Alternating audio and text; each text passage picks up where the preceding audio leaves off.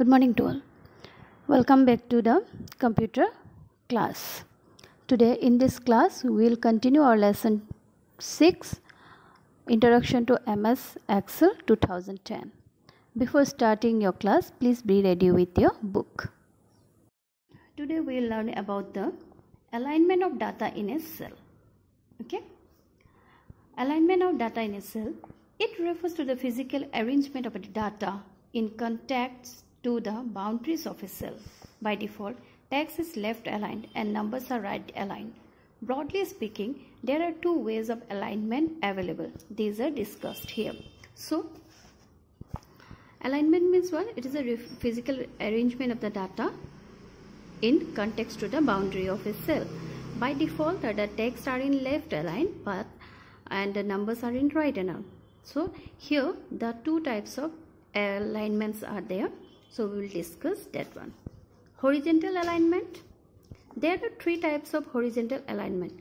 Horizontal alignment is the one type of alignment of the data in a cell and this horizontal alignment includes again the three types of horizontal alignment. These are left, center and right. So alignment, horizontal alignment are of three types. These are left, center and right. Vertical alignment. There are three types of vertical alignment. These are top, middle and bottom. Okay. Look, horizontal means from the, this way means this way is called the horizontal and this way is called the vertical. So here align uh, in horizontal alignment three types are there. Uh, left, someone will left this side or middle or right side okay? And vertical alignment some will be top both middle or bottom clear?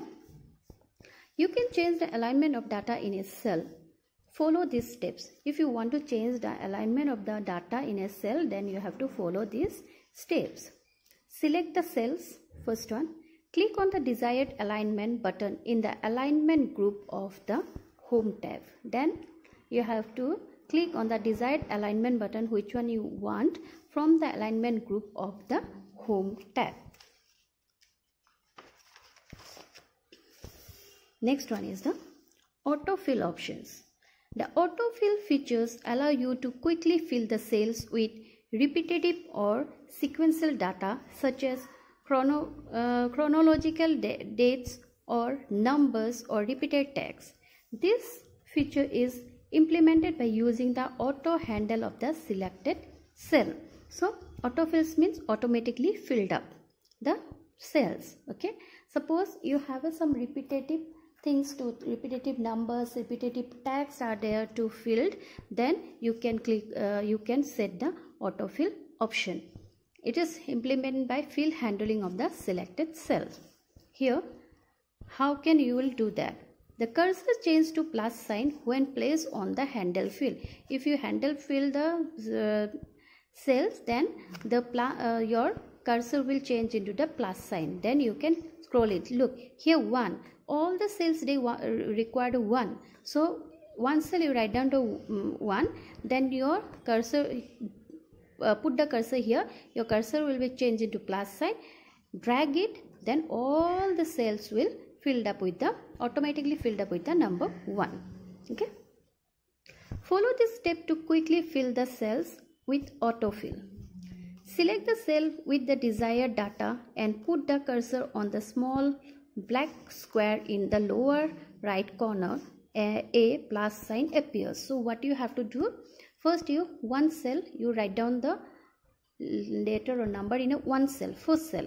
Then this cursor uh, this will be boundary black color boundary you will see. Look like that one black color boundary will be small black color boundary will be seen so here this right bottom corner you can put your cursor here then it will be become turn into plus sign. Then you can drag it down so all will be filled up with the autofill options.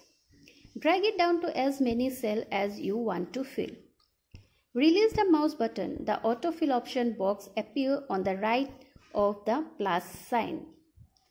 Bring the cursor on the box and click on the drop down arrow like that you can autofill the numbers number fifth option choose the desired action from the drop down list for example click the fill series option to complete the series or the copy text option to copy the content of the selected cell. The autofill feature is not limited to number. It can also be used for text and a mix of text and numbers. For example to make a repeating list of the days of the week okay? So autofill will not only limited for the numbers you can uh, do the you can apply it in the text also. So for example type monday in a cell highlight the cell and drag across with the mouse. Select the desired action from the autofill option. Drop down list okay? Suppose in one cell you can write down the monday then you can go to the top uh, bottom right corner. Your cursor will change into plus sign. You can drag it down then it will be automatically fill other days of the week editing data selecting data. Now editing and selecting data. Before a cell can be modified or formatted it must first be selected. So before you can select uh, edit or modify any format any cells. So first you have to select it. Then when you select it it will be highlighted. Okay? Refer to the table given below for selecting group of cells. Here is the one table is there. So that is for uh, selecting the group of cells. Cells to select one cell. Mouse action. Click once on a cell. Entire row. Click on the row label. Entire column. Click on the column label entire worksheet click on the entire sheet button. Range of the cell. Drag mouse over the cells now cutting cells.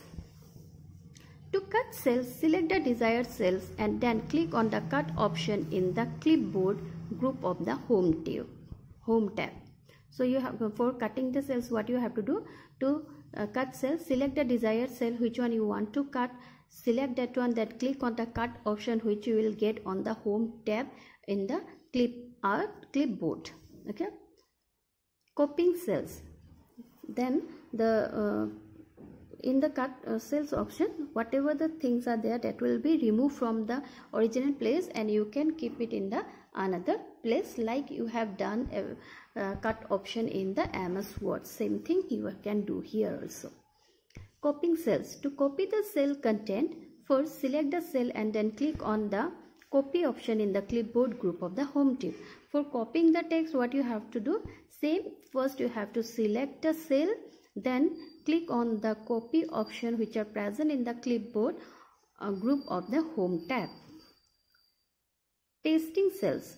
Select the cell into which you want to paste the content and then click on the paste option in the paste drop down list in the clipboard group of the home tab. Same thing like a cutting and uh, copying you have to do pasting also. For pasting what you have to when you want to paste the uh, text select that cell okay? Then you click on the paste option from the clipboard group of the home tab. Now saving an ms excel 2010 file. After completing the work you can save the change in two ways. After completing all the works you can change the ms excel file file in two ways 1. Click on the Save button on the Quick Access toolbar. Here the Quick Access toolbar is there. Here you will get the Save option, Save button. By clicking that Save button, you can save the MS Excel file. Or choose a directory folder to save the file in. First you have to click on here. Then this type of one menu will appear. From here you can select any directory option where you want to uh, save your file. Click there then here you write down the name after that you click on the save button like that you can save the ms excel file or click on the file tab drop down list save save as option the save as dialog box appears. Select the destination folder and specify the file name. Click on the save button. It is recommended that you save your files every 10 minutes. When you save change for the first time, you use file tab, then save as option. Subsequently, changes made in the same file are saved using the save option in the file tab drop down list.